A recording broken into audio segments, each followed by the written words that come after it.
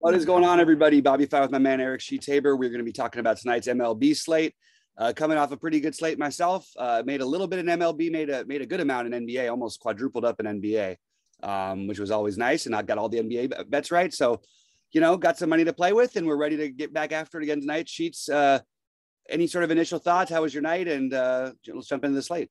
Yeah, my initial thoughts is um, is probably the, the pitching is going to be the late game. Uh, but we'll, we'll actually, oh, it's not, it doesn't play late. I keep forgetting the freaking Angels, they play early now. I totally forgot. Yeah.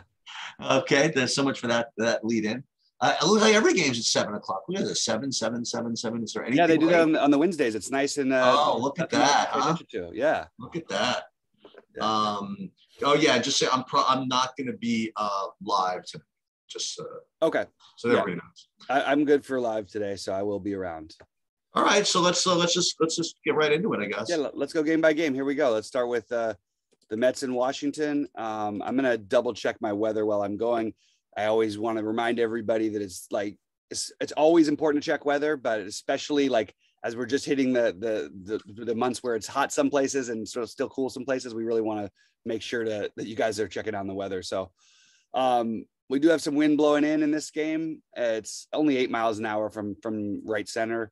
Nothing, nothing too crazy. I like to use ten as my sort of guideline, um, unless it's a huge slate. Then maybe you can you can factor it in more. But yeah, I'm sort of interested in a couple different things in this game. I I, I think the Mets. Um, I think the Mets are are more viable than they were yesterday when when they were supposed to be chalky, but then people caught on to the fact that the wind blowing in was probably going to have some effect.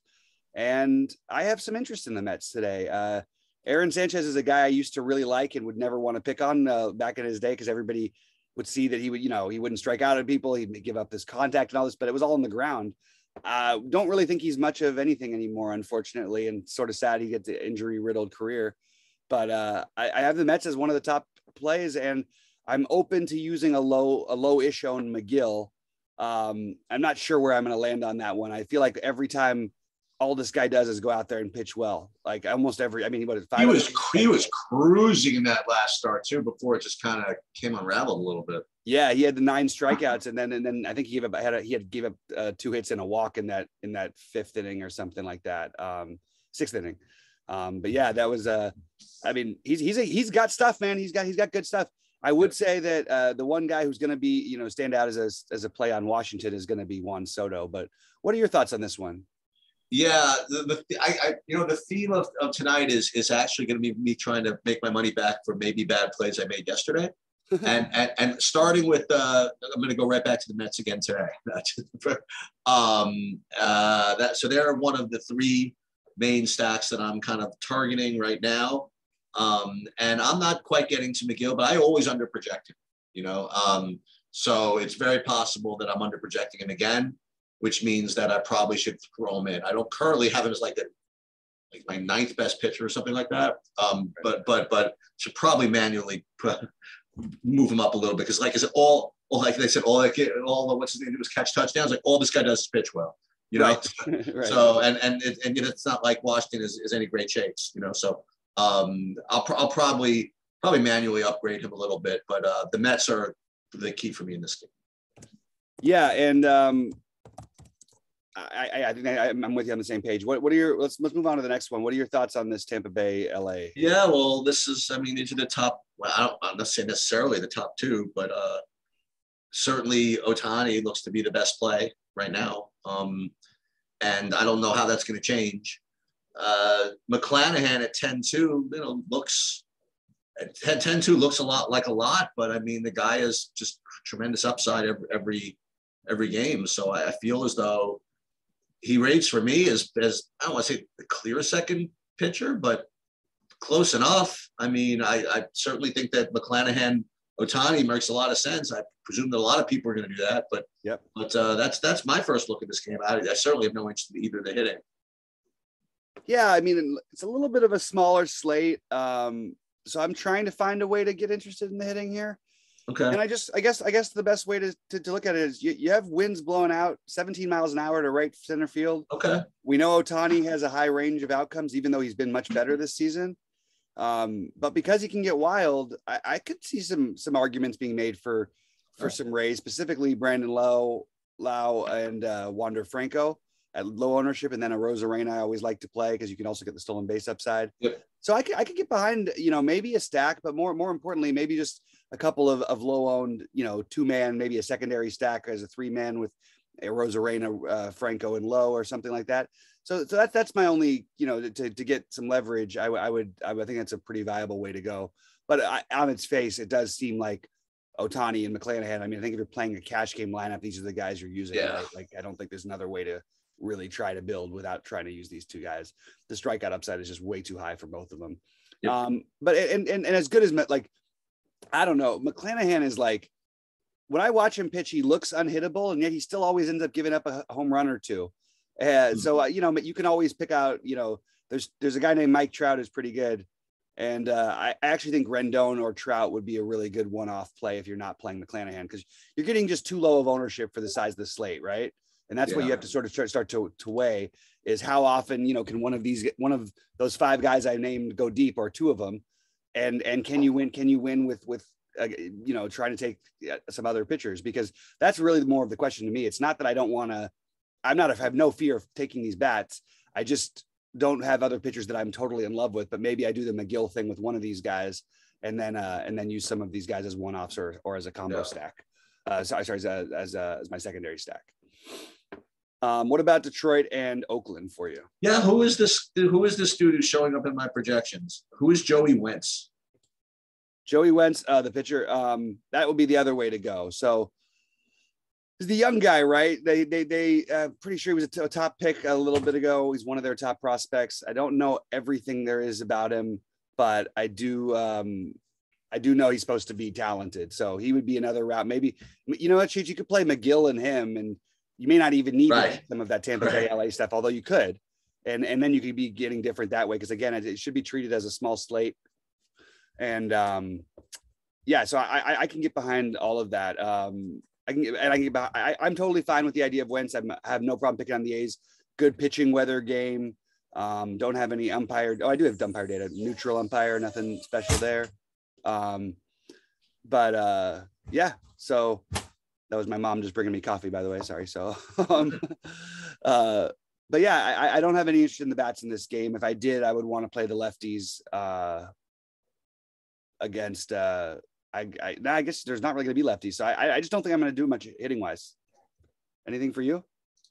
No, I think this next game though is where um is where you could do some pivoting if you wanted. Um, Yeah. It's you know it's not, listen, it's not the easiest game in the world, but I don't know what the wind or the weather's like. But I, but I think Eovaldi and Anderson, both of them, are in play for me uh, as something to do. You know, if you don't want to play Ohtani and or McClanahan, I don't have them rated all that much worse. I mean, they're worse, but not that much worse. Um, Right. and if you get the right umpire, you get the right, you know, you get the right mojo. You know what I mean? Like you get, you get, you get the, you get the baseball guys just claiming there's going to be no runs this game. You know what I mean? Uh, then uh, hopefully it applies to both pitchers um, and and the hitting environment in general. And you can play both these guys together and get immediately different. So that would be my, uh, that would be my way to go. Um, I'm, I'm not quite getting to the Atlanta or Boston hitting right today, right now, but I could certainly be talked into it. But I think that the, the playing either either or both of these pitchers is something you could do on a small slate. Yeah, it's it's you know the Eovaldi's got a five and a half K prop. There's a you know it's six and a half for uh for McClanahan and seven and a half for Ohtani, so it's not all that different. Ian Anderson only has a four and a half K prop. His strikeout rate has been way down this year. Yeah, what is that? I don't know exactly what's going on with him, and it's not like he's pitching and it's not like he's pitching poorly. You know, his last four starts, one run, two runs, two runs, one run, five, six innings every time. It's not like he's pitching poorly. He just is not striking people out at the clip that uh, we, we got used to him sort of doing last year. So I actually do. I mean, there, there's one quick bet I would I would throw out. I think that Ian Anderson uh, prop bet of of four and a half Ks is too low. Um, and and I and I'm I kind of I I kind of am a little bit interested in maybe doing what I what didn't quite work out for me last night and maybe playing maybe playing Atlanta again. Um, I also don't mind Boston. I think the run total is too low on these Boston guys. What is it? Eight and a half? What is it? Eight and a half? The, the game total is eight, and Yeah. um, for Boston, three point eight. It seems a little low, and the ownership is just so low that it's there's just so many things you can do on this slate. If, I mean, if these ownerships are anywhere near true, which it's hard to know. I mean, we had we had no like literally no cardinal early on, on on either of the sites I was looking at were projected to be above two percent owned, and they ended up as the chalkiest stack. You know what I mean on the slate Yeah. yesterday. Um, so who it's who knows, but but you know I I could I could be talking to both these offenses, and and I th- and I agree that they're both they're both pitching options. I probably would be looking at these more as secondary stacks, except for I, I, I still feel like you can get a full stack out of Atlanta. The problem is the way I would do it because of the the value. I would probably try to use Duvall and Demeritte with Acuna, and then take up it takes up all your outfield spots. That's the only issue I have with it. But um, but I'm open to it. It's not not not the most exciting to me. It's not my favorite place to stack. Uh, but I, I do think that getting some bats, and I still want to just keep re-emphasizing that as long as Acuna is not 6K, he's probably going to end up as a one-off in my lineups just almost every day. Um, at least a portion of my lineups. You look at just look at his production without. I mean, he's he has stolen a base in the last each of the last three games. He also uh, he's homered two out of the last four. He, if he gets on, he's going almost every time. So like, I- I don't know. It just feels like free points that we just should always be playing guys like that. He's and as much as I love Vlad and guys like that, is it's a very different paying 5.7 for Acuna just because that stolen base upside gives him such a high floor. Really, all you know, a walk turns into seven fantasy points right away, and then you get a hit later on, and boom, it's basically an RBI or something, and, and you're you have basically the equivalent of a home run. So, um, What's the what's the weather in Minnesota? it looks really awful. It looks like I, I'm not sure this game plays, to be honest with you. Um, it's and severe winds blowing in. Um, well, not severe, 12 miles an hour. So so never mind. Um, I was going to say that uh, Houston probably looks looks good here if it was uh, neutral weather or neutral whatever, but um, but uh, not really interested in fighting the Minnesota weather. um, Yeah. I think I think I think that if the game plays and you don't have to worry about it, then you know if it, if it clears up a little bit, that I think Ur- Urquidy is in play um, as a pivot off of some of the other guys. Not a huge difference to, between he and Anderson in their numbers. Um, so I, I- I don't have that. I don't have an issue with that. But nothing nothing that stands out to me with the weather with the wind blowing in like that. And otherwise, Houston certainly would make a lot of sense against uh, Archer, who I don't know, man. I, I was I was so high on this kid, and and it's just and he's even looked good at moments this this year. Just can't quite seem to put together an actual outing. no, no. Yeah. So, and then we get we get to to the game that again. Do we want to go back to the chalky St. Louis guys who let us down yesterday? Yeah, I might. Uh, you know what I mean? Like I Yeah. just might. Yeah, and they're they're. I mean, they're going to be really really popular. Are they? They have a 5.1 run total. It's 90 degrees or 89 degrees Ugh. in, in St. Louis. Um, you've got Spenser Watkins on the mound, which is, you know, we're happy to, you know, always happy to see that.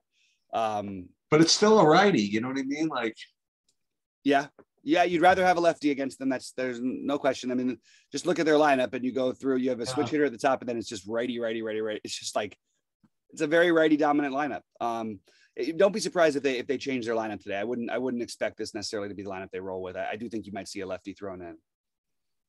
Um, you want you want to play Mikolas at all or no? So that I'm always, you know, I, I really like Mikolas as a pitcher. The price is starting to get to that point of like, whoa, are we supposed to be doing this? Because he's not a high strikeout guy. He occasionally will have the the strikeout game, but when it seems like when he has a really good game, he's a, you know, it's like a he's got a three three hitter or something like that, and with like four strikeouts, it's just he just doesn't doesn't necessarily. I would I, think I'd rather play Megill with the upside, but I, I you know, he by the end of the day, he might make it into some lineups for me, but I'm not like excited about it. I, I also don't want to pick on him particularly, but I wouldn't mind if you want to, if somebody wants to take like a one off somewhere else. He's been pretty good about keeping the, uh, you know, he's always been good about keeping the home runs down. He will give up some contact because he, he used he, he used to never walk anybody. Now this year he's his walk rate's a little bit up, but still pretty solid. Um, yeah, I, I think that again, it's going to be about whether or not you want to play the popular St. St. Louis as your main stack. Maybe playing them as a secondary stack. Maybe if you do play a full stack, going the wraparound, starting with uh, like maybe you start with uh, Carlson and, and go up to Edman or something, and maybe skip the guys who are going to be just like 30 and 40 percent owned. Because I really do think that Tyler O'Neill and Yepez will be over 30 30 percent. Maybe maybe Yepez could be even as high as like 40 percent. And it's just it's just not right to be playing baseball players who are 40% owned who are hitters unless you're obsessed with the stack or something and I you have some low, op- some low owned options you don't have low owned options on this team I, uh, they're just all going to be owned except for maybe bader and donovan so i think i would have to probably be playing both those guys on this slate to to be interested. But I, I mean, look, they, they make sense. I'm, I, it's going to be hard. There will probably be Cardinals, you know, in, in some of my lineups, but I, I think I'm just going to treat it more as a secondary stack personally. So Kansas City, Kate, Texas, I, I think is a bullpen game. I, I think it's both sides because I'm looking at, at, this Brady Singer and yeah, he hasn't pitched more than three innings. Yeah, but he hasn't pitched more than three innings, and then they they optioned him to AAA like on the 28th of April, and now he's like back. I mean, what, what I don't know what what's going on here, but but um uh I I think it's a bullpen game on both sides, and I, I probably don't want any part of it. I mean, if anything, maybe I'll take a shot with with uh, with KC, um, but I'm probably going to stay away. Yeah, I um, I'm open to the to the KC thing more tonight. Uh, I don't think you're going to see a ton of ownership outside the top three, and I look what happened to Whit Merrifield. I mean, crazy, right? this guy was our guy and mm-hmm. and like has just been just we, we were playing we were paying 5600 for him yeah and then you go out there and he he'd hit a home run or he'd steal two bases like it felt like every day um but i think you could i think you can get some some some take some shots here with with the you know the stack would be something like Whit uh i guess you i guess even the one through five because i don't think you're going to get a ton of ownership on dozier and o'hearn um but i would like to get Whit in there at, at low ownership and you get Melendez as the catcher, who's a who's a top prospect, um, at, you know, probably batting sixth or seventh. So I, I, I kind of am interested a little bit in the, in the KC side of this, and I don't have a problem of any of the Rangers. And I will say that Corey Seager is probably the best play on the slate, but is also going to be owned like it. So if you're going to play the, the Rangers, he only he uh, only had two home runs last night. I know he only had two. Um, he's going to start heating up. It's you know it's that when it, you let me you let me know when he starts heating up. I, I, there it is. I, just, I, I, did it one day too late apparently, um, but yeah, he got off to a little bit. You know, hasn't been quite himself all season, but uh, I, think still by by the end of the year, you're going to see 30 plus home runs. With he might hit another two tonight if they let if they let Brady Singer face him twice. Anything. yeah, Remember that with Brady Singer though? He we had the whole picking on Brady Singer experience, and he would like go out and have like a no hitter through six every time. It felt like, and then he made, he won me all the money in, in something last year. That's right. Showdown you, showdown slate. That's right. He did. That's right. I, I forgot about that. Um. All right. Well, I so basically for me, the way I've got it looked at is priority, I really do like the Mets. Um, I, you know, it's it's it's it's the name of the game is going back to the the things that failed me a little bit last night. Although Atlanta actually did, my guys did pretty well for Atlanta. I think Atlanta is going to be low owned enough to where I want pieces of it. I just feel like I keep seeing pieces, and I don't feel a, I don't feel like there's one stack that I feel great about outside of the Mets, um, and the Roy. I, I do think the Royals are, are a viable stack, uh, but it's probably going to end up being like a four-two-two kind of a night for me. And I, and I like the idea of let's just get different with it and let's stack the Rays a little bit. You know what I mean? Against Ohtani, you got the highest owned pitcher, you get leverage that way. And this Ohtani's the exact, you know, he's a, a right-handed Robbie Ray to some extent. He gives up power. He uh, can get wild at times, even though he's been very, very good this year.